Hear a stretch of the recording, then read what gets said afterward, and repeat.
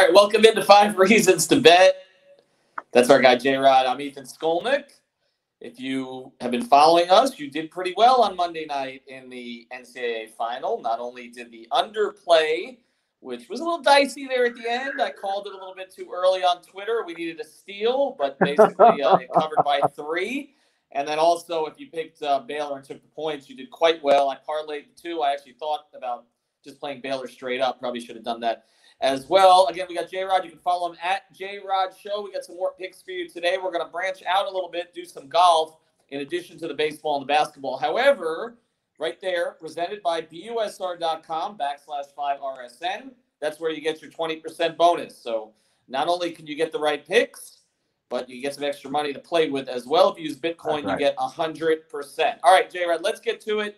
Uh, big event coming up. Uh, you know, no Tiger Woods, obviously, so it doesn't have quite the same cachet. We don't know if we'll ever see Tiger on a golf course again, actually. But there are some new names here. There's some interesting names. Um, we got two different things that we could play here. We can play the first round. We can play the entire tournament. Who do you like for both?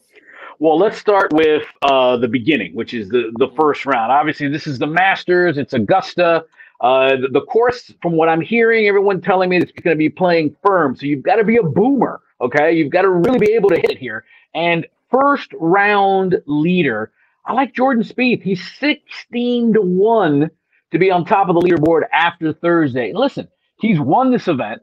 He's finished top five in uh, four of his last top uh, five finishes, four of his last six starts have been top five finishes. So he's playing well. He won on Sunday. So he's coming into some momentum and he's got a green jacket. So if anyone has some ability of how to play that course, had success there. And you know what? He's a, he's a quick starter, so why not? That's 16 to 1 to be the leader after the first day. I'll take it. Jordan Spieth.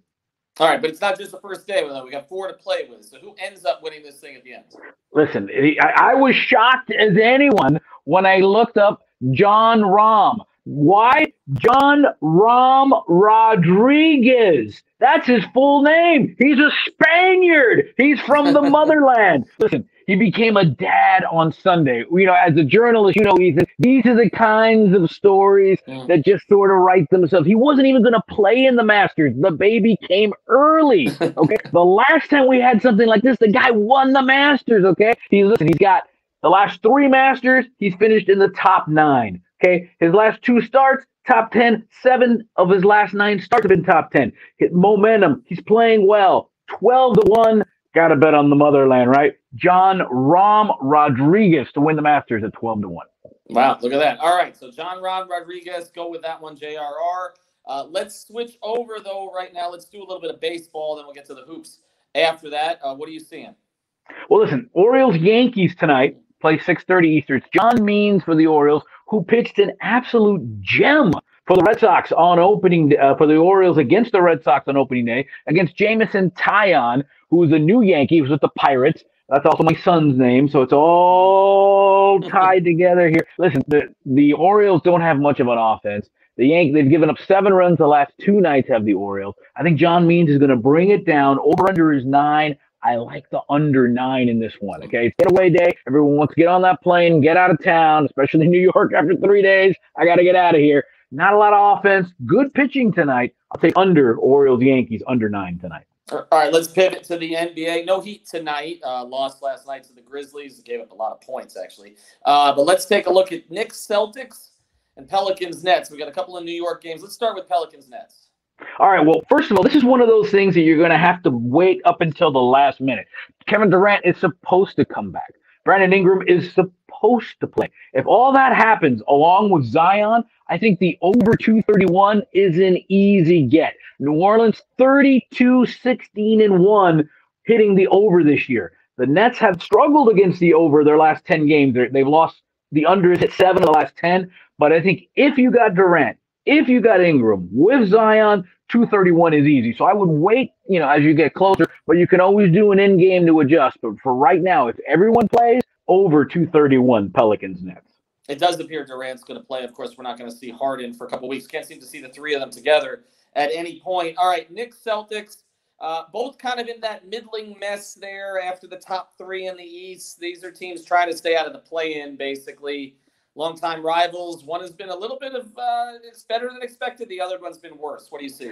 There, there is an interesting story here. The Celtics, their last eight home games, mm-hmm. the under has hit.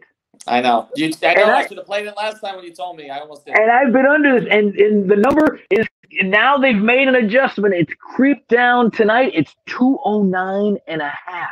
Mm. That's a low. I mean, I was getting it at 220, 217. Those are easy mm. under 209 and a half. I think the streak ends tonight. I think we get okay. it over tonight. Knicks, Celtics, the, the both teams are, med- are muddling. They're they're a mojito. They're muddling. 209 and a half, I still think is doable. If they hit this under tonight, then they'll never hit an over again in, in, in, Boston. And for some reason, the under in Boston, eight straight games for them at home, I think it comes to an end tonight. I go Knicks Celtics over 209 and a half. All right, so streak breaker tonight. Let's go through it. Uh, we got two picks there. Uh, Spieth, Rahm, Rodriguez on the Masters, Pelicans, Nets. Maybe play. And I'll, I'll, I'll, leave you with this. By the way, Dustin Johnson is the favorite to win the Masters at nine to one. Mm-hmm. The favorite has the last ten years. No favorite has won the Masters. Won. All right, so, so, don't play it.